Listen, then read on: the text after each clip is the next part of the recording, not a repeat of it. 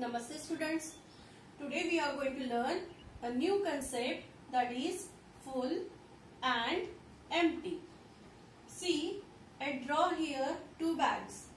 In one bag there are flowers but in one bag there is no flower. That means one bag is full of flower and one bag is empty. Okay. Now I am going to show you a flashcard.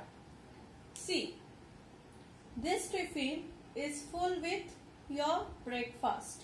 Okay, there is sandwich in that tiffin, egg is also there. So it is full with your breakfast. But see, this is empty. This tiffin is empty. That means you finish your breakfast. Okay, so that's why it is empty. Understood everyone? Now I am going to show you some more objects. See, I have two glasses in my hand.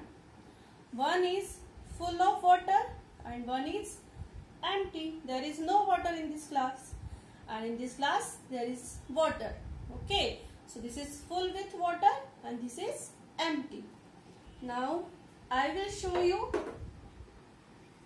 these two tiffins again. Okay, see there is something in this tiffin. That means it is full and here nothing is there. That means it is empty. I will show you this also. See, this is full, this is full and this is empty.